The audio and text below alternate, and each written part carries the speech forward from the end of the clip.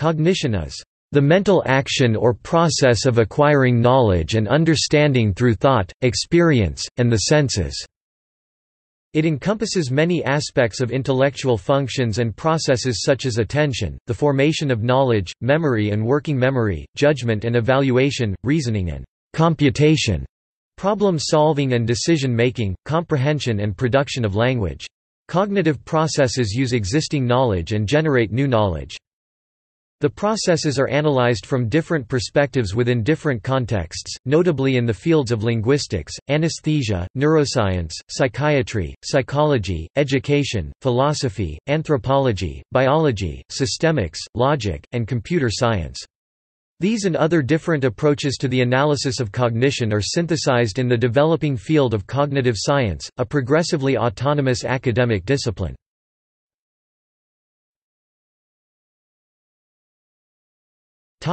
Etymology. The word cognition comes from the Latin verb cognosco con, with, and nosco, no, itself a cognate of the Greek verb gi gamma, nosco gi g nosko, meaning I know, perceive, meaning to conceptualize or to recognize.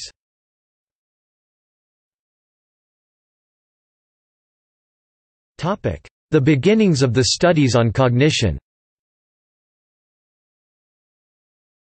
The word cognition dates back to the 15th century, when it meant, "...thinking and awareness."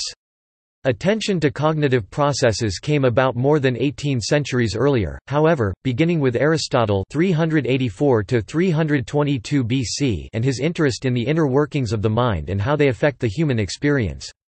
Aristotle focused on cognitive areas pertaining to memory, perception, and mental imagery.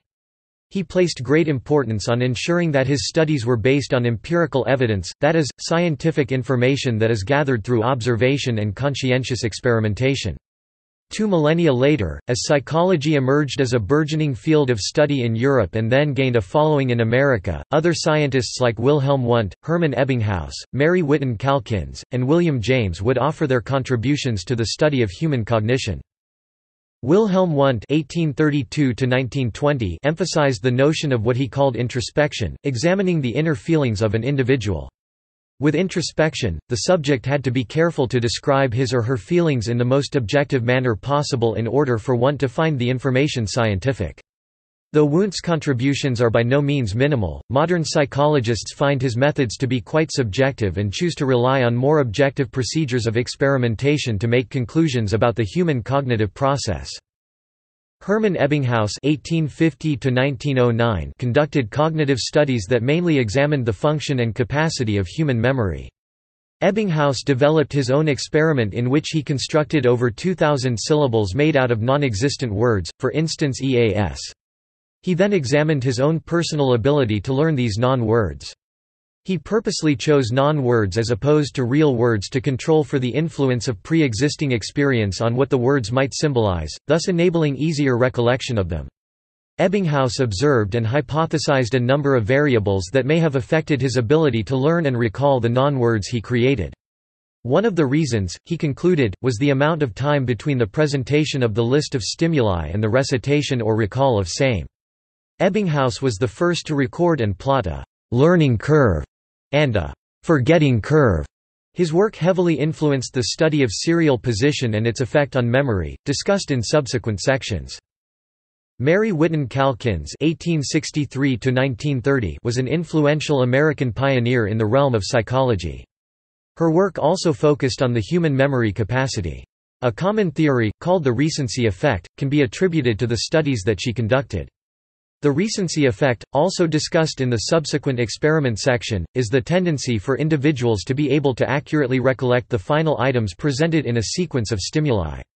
Calkins' theory is closely related to the aforementioned study and conclusion of the memory experiments conducted by Hermann Ebbinghaus. William James (1842–1910) is another pivotal figure in the history of cognitive science. James was quite discontent with Wundt's emphasis on introspection and Ebbinghaus' use of nonsense stimuli.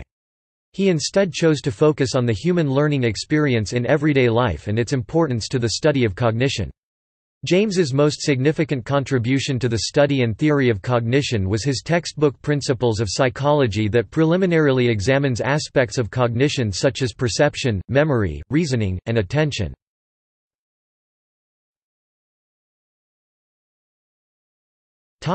In psychology. In psychology, the term cognition is usually used within an information processing view of an individual's psychological functions see cognitivism, and it is the same in cognitive engineering. In a branch of social psychology called social cognition, the term is used to explain attitudes, attribution, and group dynamics. Human cognition is conscious and unconscious, concrete or abstract, as well as intuitive like knowledge of a language and conceptual like a model of a language. It encompasses processes such as memory, association, concept formation, pattern recognition, language, attention, perception, action, problem solving and mental imagery. Traditionally, emotion was not thought of as a cognitive process, but now much research is being undertaken to examine the cognitive psychology of emotion. Research is also focused on one's awareness of one's own strategies and methods of cognition, which is called metacognition. While few people would deny that cognitive processes are a function of the brain, a cognitive theory will not necessarily make reference to the brain or to biological processes compare neurocognitive. It may purely describe behavior in terms of information flow or function. Relatively recent fields of study such as neuropsychology aim to bridge this gap, using cognitive paradigms to understand how the brain implements the information processing functions see also cognitive neuroscience, or to understand how pure information processing systems e.g., computers can simulate human cognition see also artificial intelligence. The branch of psychology that studies brain injury to infer normal cognitive function is called cognitive neuropsychology. The links of cognition to evolutionary demands are studied through the investigation of animal cognition.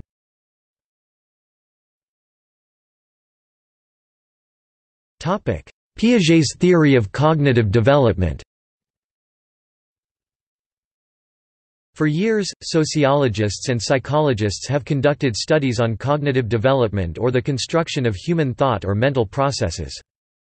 Jean Piaget was one of the most important and influential people in the field of developmental psychology.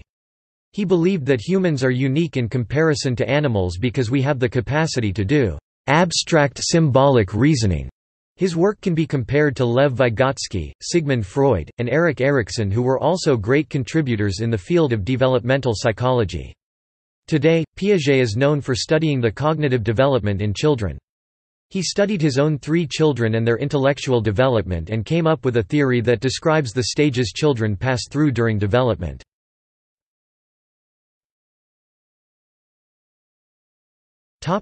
Common experiments on human cognition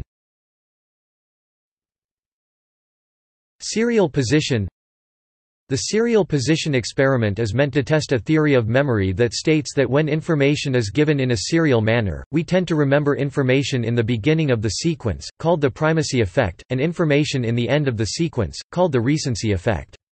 Consequently, information given in the middle of the sequence is typically forgotten, or not recalled as easily.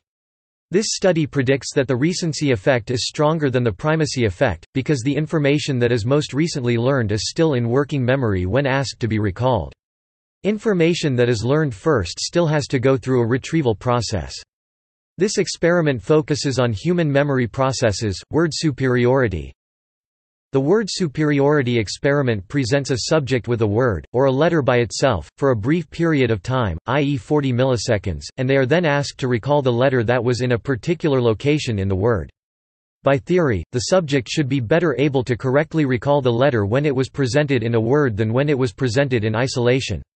This experiment focuses on human speech and language. Brown Peterson in the Brown-Peterson experiment, participants are briefly presented with a trigram and in one particular version of the experiment, they are then given a distractor task, asking them to identify whether a sequence of words are in fact words, or non-words due to being misspelled, etc. After the distractor task, they are asked to recall the trigram from before the distractor task. In theory, the longer the distractor task, the harder it will be for participants to correctly recall the trigram. This experiment focuses on human short-term memory, memory span. During the memory span experiment, each subject is presented with a sequence of stimuli of the same kind, words depicting objects, numbers, letters that sound similar, and letters that sound dissimilar. After being presented with the stimuli, the subject is asked to recall the sequence of stimuli that they were given in the exact order in which it was given. In one particular version of the experiment, if the subject recalled a list correctly, the list length was increased by one for that type of material, and vice versa if it was recalled incorrectly. The theory is that people have a memory span of about seven items for numbers, the same for letters that sound dissimilar and short words. The memory span is projected to be shorter with letters that sound similar and with longer words. Visual search In one version of the visual search experiment, a participant is presented with a window that displays circles and squares scattered across it. The participant is to identify whether there is a green circle on the window. In the featured search, the subject is presented with several trial windows that have blue squares or circles and one green circle or no green circle in it at all. In the conjunctive search, the subject is presented with trial windows that have blue circles or green squares and a present or absent green circle whose presence the participant is asked to identify. What is expected is that in the feature searches, reaction time, that is the time it takes for a participant to identify whether a green circle is present or not, should not change as the number of distractors increases. Conjunctive searches where the target is absent should have a longer reaction time than the conjunctive searches where the target is present. The theory is that in feature searches, it is easy to spot the target, or if it is absent, because of the difference in color between the target and the distractors. In conjunctive searches where the target is absent, reaction time increases because the subject has to look at each shape to determine whether it is the target or not because some of the distractors if not all of them, are the same color as the target stimuli. Conjunctive searches where the target is present take less time because if the target is found, the search between each shape stops. Knowledge representation The semantic network of knowledge representation systems has been studied in various paradigms. One of the oldest paradigms is the leveling and sharpening of stories as they are repeated from memory studied by Bartlett. The semantic differential used factor analysis to determine the main meanings of words, finding that value or goodness of words is the first factor. More controlled experiments examine the categorical relationships of words in free recall. The hierarchical structure of words has been explicitly mapped in George Miller's WordNet.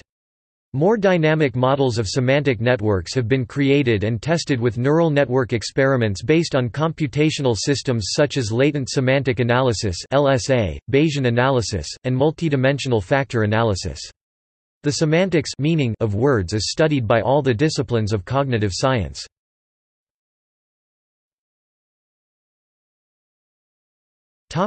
Recent developments An emergent field of research, referred to as team cognition, is arising in military sciences. Team cognition indicates an emergent property of teams that results from the interplay of individual cognition and team process behaviors. Team cognition underlies team performance Arizona State University East, 2005, Cook N.J., 2005.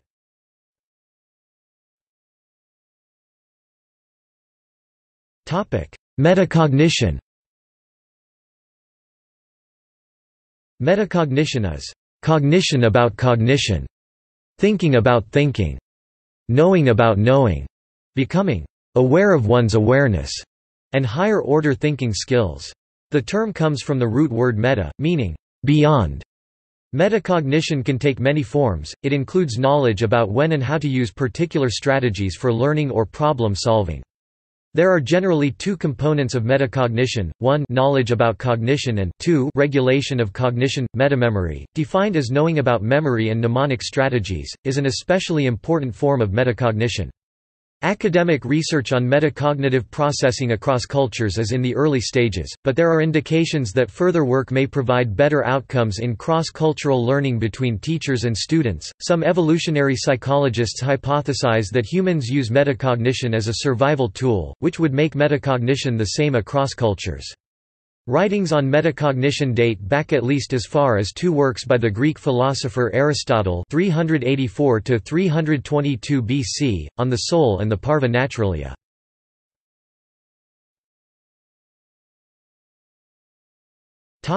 See also.